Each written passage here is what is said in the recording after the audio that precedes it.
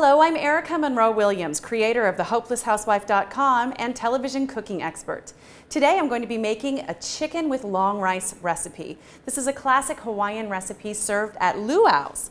So for this recipe I'm going to need two boneless skinless chicken breasts cut into strips and then chunks, two tablespoons of soy sauce, half of a tablespoon of sesame oil, two tablespoons of minced ginger, fresh ginger, one garlic clove minced, three quarters of a tablespoon of sugar, a dash of pepper, a tablespoon of vegetable oil, half of a cup of sliced white mushrooms, two green onions. Now you can cut this how you like it. You can either do it um, on the diagonal or you can cut them into small pieces. We need five ounces of cellophane noodles cooked. They, they cook so quickly. You just want to do them for about three minutes and pull them out.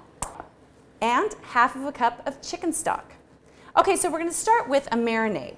We're going to want to take half of a tablespoon of soy sauce, so not all of this. And then the sesame oil, where we're going to put this all into a small bowl. And the ginger the garlic, it's already fragrant. I can already smell this. And then the sugar. This is gonna make a nice little marinade for our chicken. And we're gonna coat our chicken breast pieces with this and we're gonna marinate it for an hour. So you really wanna get it in here and just make sure each piece is coated. Oh, it smells so good. That sesame oil is really delicious smelling. Okay, so I'm going to cover this and I'm going to put it in the refrigerator for an hour to let it marinate. So our chicken is done marinating. I just got it out of the refrigerator.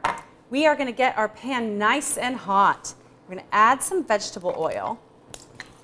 Now the trick to making this chicken nice and tender is to make sure that the oil is hot. Okay, which it is. So we're going to add our chicken. Whew. That is nice and hot. We want to sear this pretty quickly.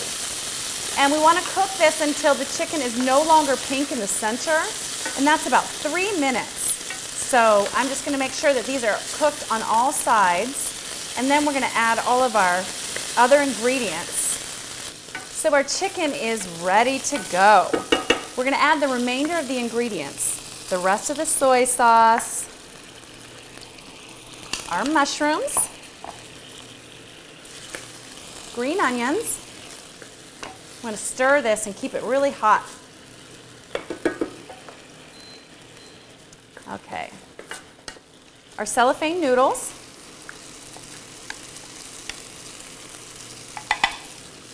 Looks like a noodle got away from us. There we go.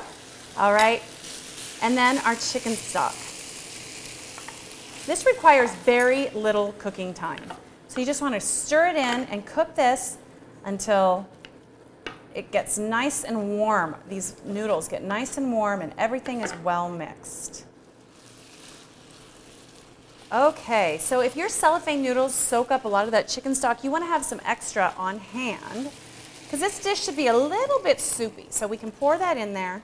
There we go, that's nice. I just poured like an extra quarter of a cup, which is um, just enough to make this a little bit soupier. So there we go. Now it's time put this in the bowl and serve. So I'm going to start with my noodles. I'm just going to pull these out. Look how beautiful those are. They just soaked up that chicken stock. Get some rice.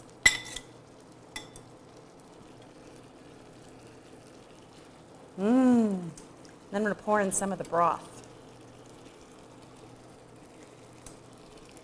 It smells absolutely delicious. Okay, just going to pour in a little bit of the broth. There we go.